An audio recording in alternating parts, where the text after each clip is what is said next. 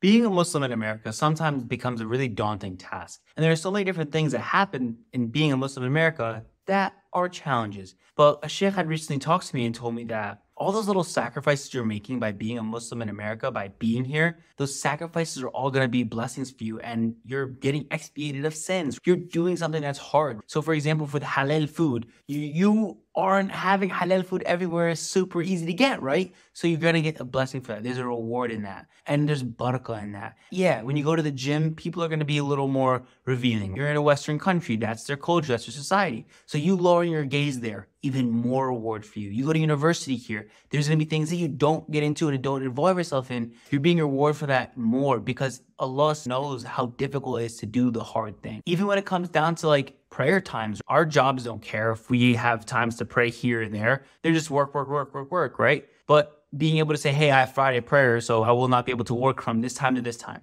That's a sacrifice you'll have to make. What if you don't get the job because of that? Again, Allah sees that and will reward you for that. Even finding a community, it becomes hard. Whether it be racism, Islamophobia, or the lack of Islamic education in schools, or even being in schools where the education doesn't promote Islam in a positive light. This in turn has like an ignorance in faith, and then there's a stigma behind even talking about it. First and foremost is the re- religious observance, right? Where you're being religious, you're a Muslim, you're fasting for Ramadan, no food or water from basically what five in the morning till seven at night at least. So that time of no food or water, you still have to go to job. You still have to do the work. You can't just choose to work at night because again, culture, society, it's in the morning. And even then, you have to do certain things according to the system that you're living in. Allah knows, and He knows how hard you're grinding. He knows how hard you're working for it. And it'll all pay off in the end. So always have that steadfast journey. Understand that again, it's that marathon of doing the right thing for Allah. And again, cultural adjustments. Yeah, it happens. Like I always tell people, like, yeah, I grew up in America.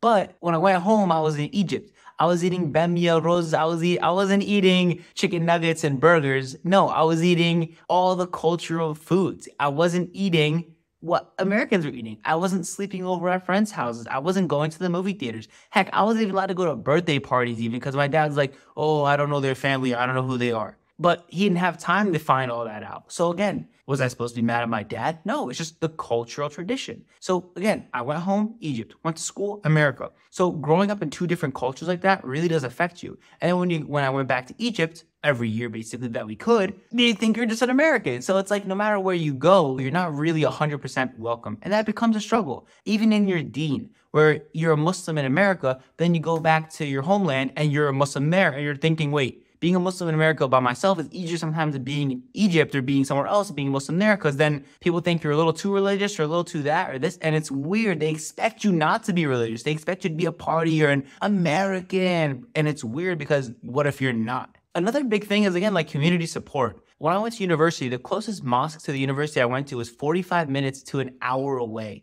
That is so far comparative to where around here where I live currently, the nearest one's 10 minutes away, or 20 minutes away, or 30 minutes away, or one that's 35 minutes away. So there's multiple places where there's mosques nearby. But I had to go to a university where it's an hour away. I didn't think about that when you're in high school. You just kind of go into the colleges as things see fit. And again, I'm blessed for the experience because it made me have to be myself even in an environment where there probably wasn't even one Muslim person around me. Even when it comes down to like the workplace, like we said, things happen on a certain time. Hey, you have a meeting here to here to here. You have a boss who tells you that. But then it's like, hmm, wait a minute, like I have to pray this this time, this time before the next prayer starts. But you don't have that privilege. So again, in a Muslim country, you might have that privilege. So again, that's a sacrifice you're taking, and Allah sees that you're grinding. He sees the effort. He sees the intention. And always know that Allah judges us based on our intentions. So make sure you know that. Another thing is obviously the Islamophobia and the racism that one might go through. Muslim woman, you're wearing the hijab, people are gonna judge you and look at you differently. My father was a taxi driver in New York after 9-11. Imagine how it was when people hopped in his taxi cab and say, oh, he's an Arab. No way, I'm hopping out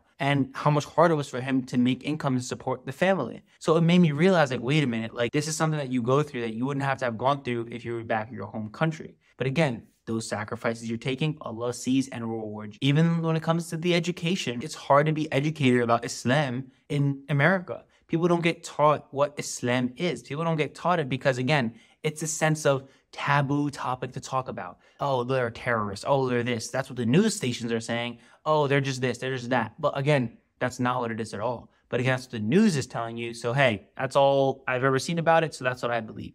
And again, it's that bias that you end up living in. And again, that goes back to that global perception of Islam. Like, what is Islam seen as? Is Islam seen as a peaceful religion, the fastest growing religion around the world, or is it seen as this barbaric thing? And it's so confusing because growing up Muslim, I'm like, hey, like my family isn't barbaric. We're not terrorists. But then people in the news and Americans in the area would see us like that. I'm so confused. I'm like, what? Like my parents never hurt anyone. But again, it's what they're taught. The ignorance isn't their fault. It's what the media is showing them. So again, these are some different struggles that being Muslim in America kind of has happened in my own life personally. And I want to reach out to you guys, especially if you're Muslim, watch this video and to know that it's okay. It happens. We get it. Like, life is like that, you know? You're not going to win every battle. You're not going to have every single thing happen. It's going to be harder. But because it's harder, the reward is going to be greater. So just remember that and stay steadfast as much as you can. And if, hey, in the comments down below, please let me know what you guys think. And if there's anything I missed that I haven't talked about, please let me know. I'd love to hear you guys' opinions. And again, be sure to like, subscribe, share, and get it to all your friends. I want to do well on the YouTube algorithm here, get this video promoted everywhere so people can learn a little bit about Islam.